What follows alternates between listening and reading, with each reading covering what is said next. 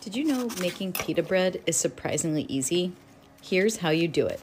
In a large bowl, whisk together two cups of flour and one teaspoon each salt and instant yeast. Add three quarters cup lukewarm water and one tablespoon of olive oil. Stir to combine, then knead briefly in the bowl until the dough comes together. Cover the bowl and let rise in a warm place for one and a half to two hours.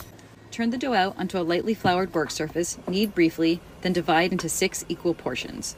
Using flour as needed, ball up each portion, cover, and let rest for 30 minutes.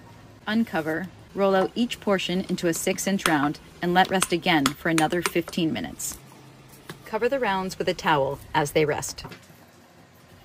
Bake three pita at a time, parchment paper and all, on a preheated baking steel at 550 degrees for two to three minutes. Wrap the cooked pita in a towel and let cool for five minutes before cutting and serving. Cutting into freshly baked pita never gets old. I hope you love it.